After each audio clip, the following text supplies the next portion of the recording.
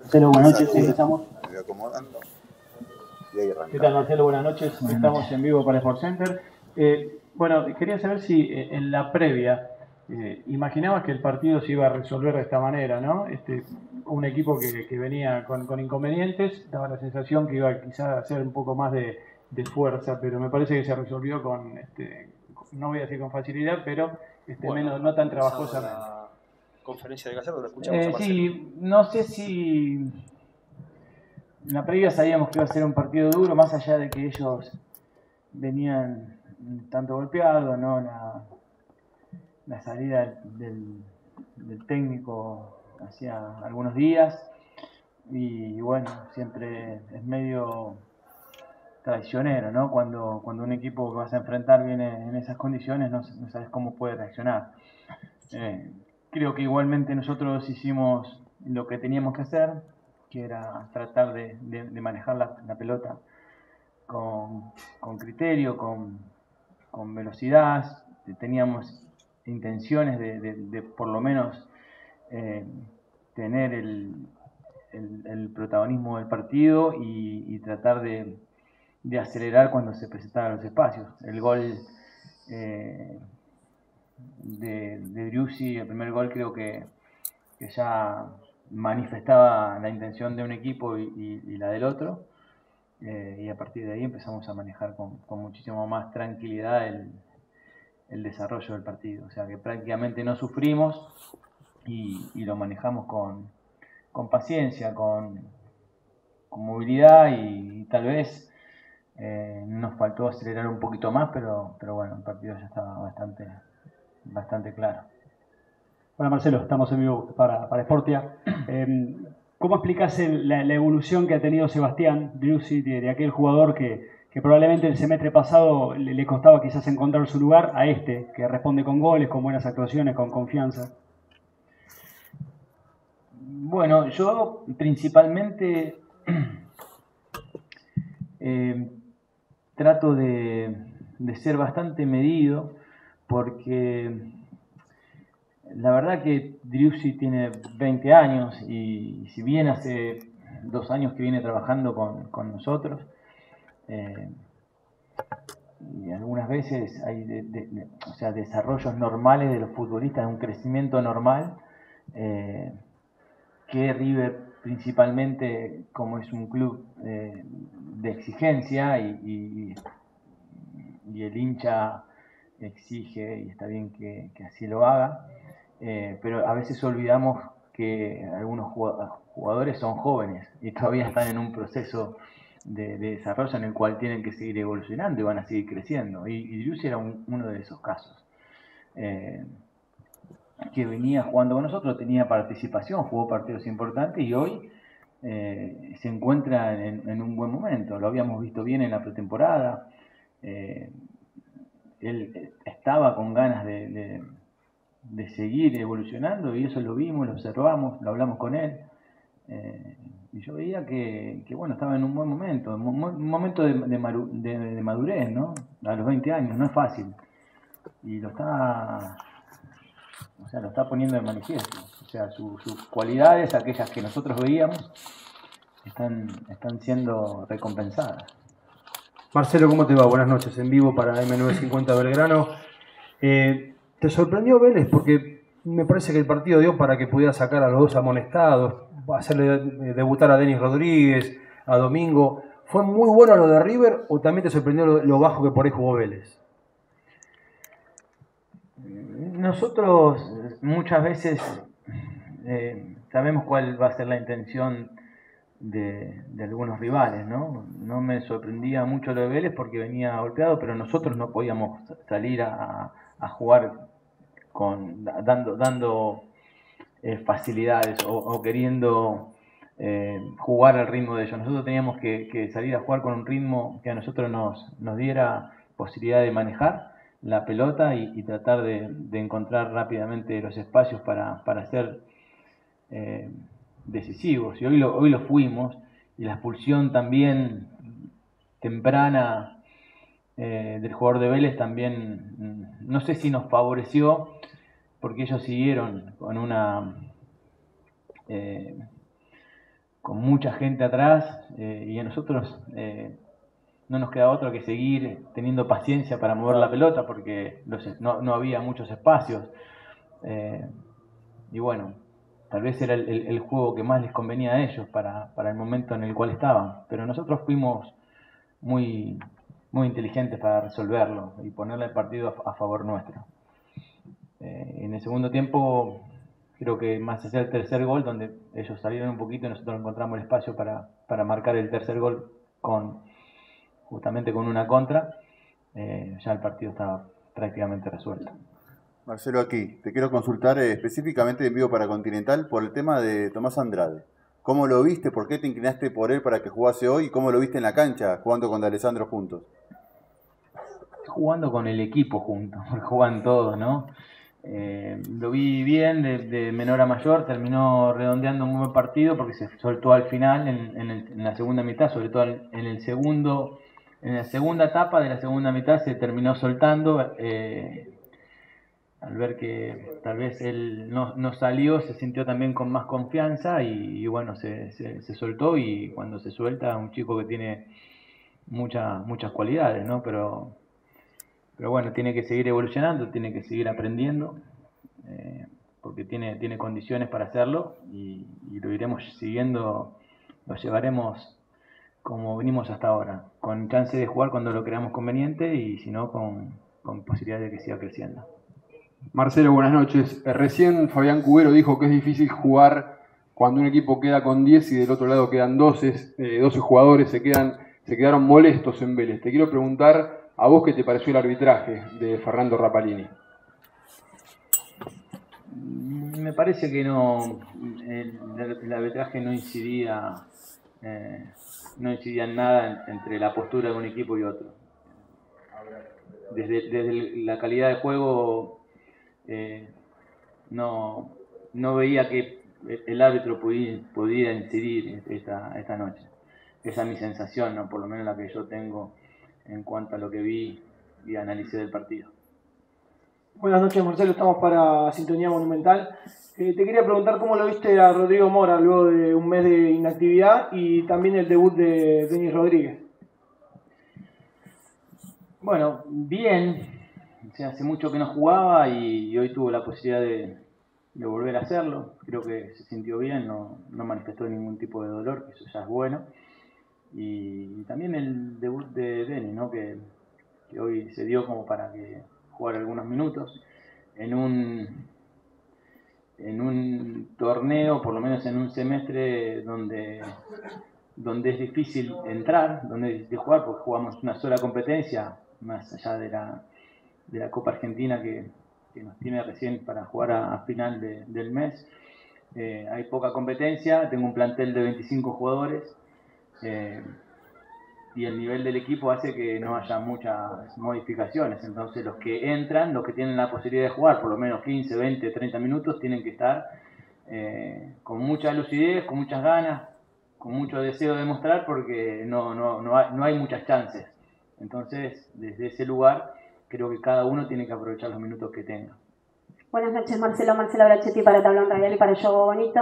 Eh, si bien River está obligado a ganar siempre, ¿qué importancia y de qué manera lo trabajaste esta semana sabiendo que venía de dos empates y que con un receso que va a venir por el tema de la selección, por ahí era importante quedarse con estos tres puntos acá en casa? Sí, bien. Eh, era importante ganar, pero más allá de eso, eh, seguir mostrando la, la forma, ¿no? es lo que más me, me llena de satisfacción. O sea, seguir mostrando una idea, seguir mostrando una forma que los jugadores traten de, llevarla a cabo. Eh, y creo que por momentos se hizo. Eso, eso es lo más eh, gratificante ¿no? en ese sentido. Y eso a mí me, me, pone bien porque ahora tenemos dos semanas, más allá de que vamos a tener eh, algunos jugadores que se van a ir con sus selecciones. el, miércoles los que vienen sin muchos minutos van a tener la posibilidad de jugar un partido de tercera eh, acá en el estadio y eso también nos, pone, bien porque también es bueno verlos a los jugadores que no tienen participación o mucha participación tener la posibilidad de jugar. Marcelo, Ricardo Steconi de Radio City de Campana, ¿vas encontrando definitivamente la línea defensiva titular? No hemos variado eh, en ese sentido, en cuanto al equipo, ¿no? Eh, vienen jugando casi prácticamente los mismos.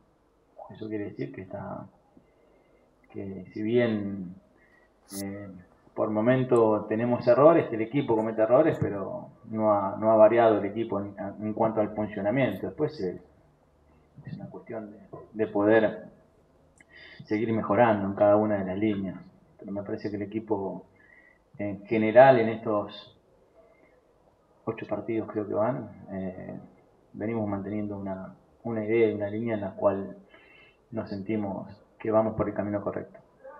Aquí para Radio Güemes, AM50 en vivo, ¿qué tal? Eh, hablaba recién mm, que, que, River viene mejorando y uno lo ve mejor fuera de los resultados. El funcionamiento cada vez va generando mayor velocidad con precisión que me parece que es algo que vos siempre hablas y que siempre estás buscando. Esto tiene que ver con el trabajo de, no tener tantos partidos entre semana. ¿Esto es importante o, pasa a ser secundario una vez que vos armaste el equipo en relación a lo que vos pensás, a lo que querés?